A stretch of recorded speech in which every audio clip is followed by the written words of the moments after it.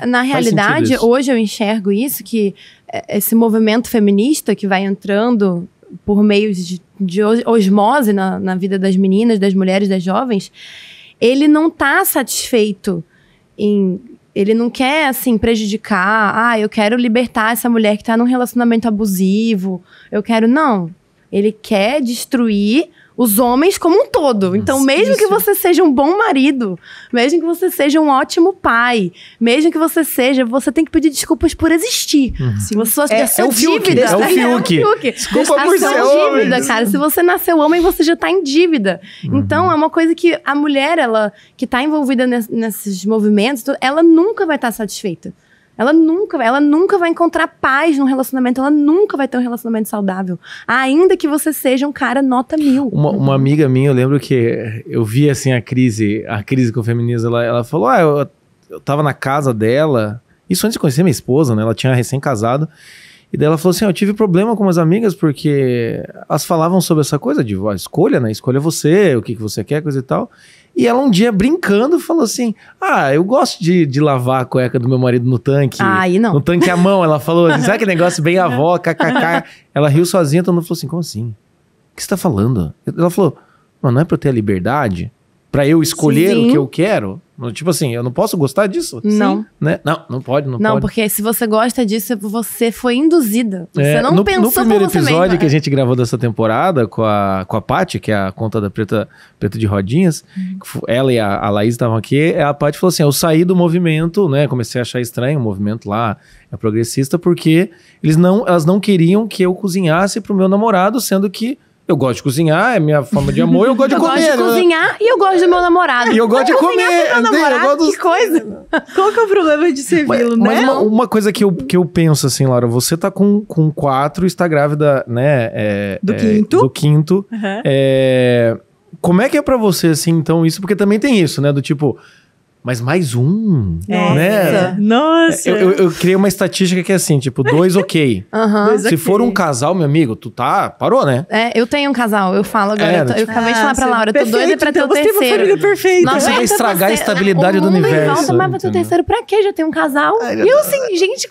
que, que assim, sério? E eu acho engraçado, esses dias um amigo, assim, conversando com, comigo, falou assim, não, que legal, né, vocês com dois filhos, né, eu tenho dois piá, então, assim, das quantas... E daí ah, e aí, né? Já tá a família completa, coisa e tal. Ou não, né? Não sei, desculpa. Daí ficou meio assim. eu falei, cara, calma, primeiro, não precisa tratar a coisa desse jeito. Uhum. Segundo, estamos aqui, né, né? Não é a gente que manda. E aí é interessante, você usa esse argumento, o pessoal fica assim. Como assim, velho? O que, que você tá dizendo, assim? Porque é muito engraçado, eu gosto do número 12, assim, porque, tipo, você quer ter 12 filhos? Eu falo, cara, por que é sempre 12? Entendeu? Mas enfim, as pessoas já falam, mas que mas e aí, como assim, né? E como é que é essa realidade? O meu marido, ele fala que o sonho dele era ter quatro para cima. Por quê? Porque ele falou assim: a partir do quatro, as pessoas te veem e falam assim: é um coitado, é um louco. é tipo um Don Quixote, tipo, né? E louco, a pessoa você se não compadece. Ela oferece uma ajuda. Isso é uma virada de chave. Depois do quarto, ninguém mais incomoda a gente.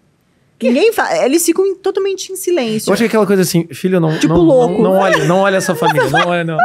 Sabe, sabe aquele meme, aquele meme? Mamãe, olha uma família com quatro, não olha, não, não olha, não olha. Eu quero 12 filhos. Né? Esse dia nós fomos um atacadão lá e fazer compra e as pessoas olhavam assim, nós com os quatro, e são quatro pequenos, né? Isso que causa mais estranhamento. E a barriga e eles, nós animados, assim, dois, ca dois carrinhos cheios de compra e eles olhando, assim. Aí, antes de ontem, eu fui sozinha com meu marido, só eu e ele. Ele falou: hoje não tem ninguém olhando para nós, por que será, que né? Coisa. Falei, não, é porque aconteceu uma coisa.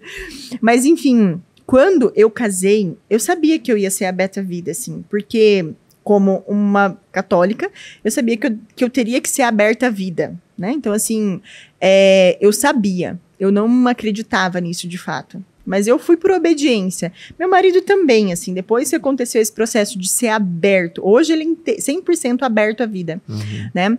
Mas, assim, é, a gente ouve ainda muitas críticas. Então, a gente tem nove anos, nós vamos fazer esse ano, nove anos de casado. E nós temos nove filhos, né? Então, uhum. assim, eu tenho quatro vivos, tem um na barriga e tive quatro perdas gestacionais, né? Uhum. Então, como nós estávamos falando aqui, são quatro almas, né? Então é, é muita gente, né? Então, assim, quando, quando a gente fala de ter mais um filho, as pessoas como a gente já disse, tem esse estranhamento de, nossa, mais um, como se cada um fosse a expressão de que, ah, vai aumentar mais a conta, vai aumentar mais uh, o mercado.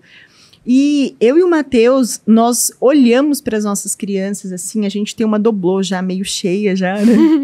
Aquelas crianças, a gente vai sair, é um monte de gente, é um monte de sapato, é um monte de, de coisas assim, e eu olho para os olhinhos delas, porque no olho a gente consegue entrar um pouquinho dentro da alma, eu falo, gente, por que não tê-los? Eu queria ter uma porção. Eu quero assim, quantos? Eu quero ter uma porção. Eu não consigo olhar para os meus filhos e pensar assim, não, esse não deveria existir. Tipo, não, esse aqui não. Eu gostaria de ter muitos, assim, sabe? Porque eu olho para eles e eu falo assim, gente, é impossível uma pessoa não querer ter um filho.